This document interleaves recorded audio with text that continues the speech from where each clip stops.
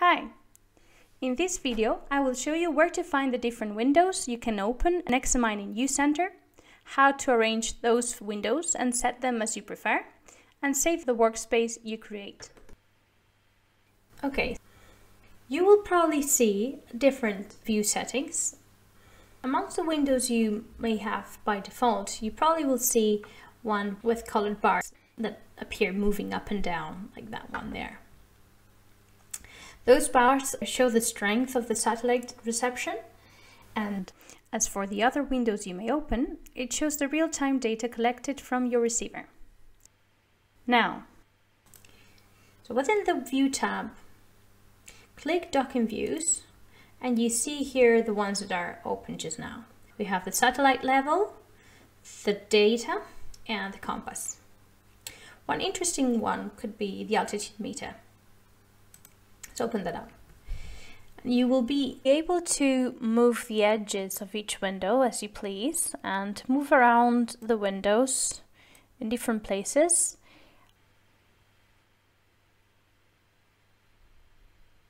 I particularly like the satellites level window, so let's leave it big and we'll move the edges from the other three looking somewhat similar looks nice. Uh, so now you can uh, save a preferred view, like imagine you, you like that setting.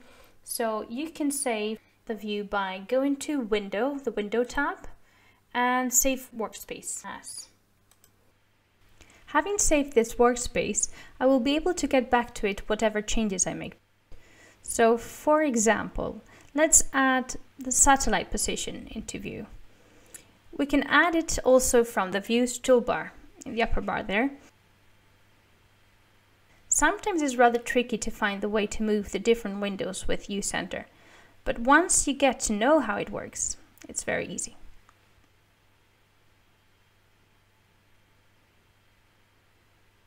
Okay.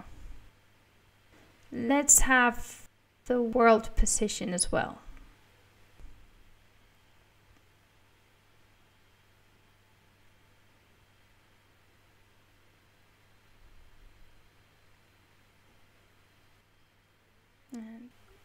Okay. We can also add the messages view into the workspace. This is where you can check the messages actually output by the receiver. And of course, if we find we will often work with it, let's also save this workspace. By default, u-center will save the docking windows set as they were left for the last time. So when opening back u-center, you will see the workspace with the previous docking windows left on view. The messages view are not saved by default though, so you can add them back again or you can restore a workspace with them on it, as we did, through Restore Workspace From. Being able to save your preferred workspace is very useful, as you can easily go back to the window settings you use more often without needing to adjust your windows continuously. Well, I hope this video helped you finding the different windows you can open to check on real-time data coming from your receiver, and also setting and saving your workspace in a convenient way for you. Thanks for watching!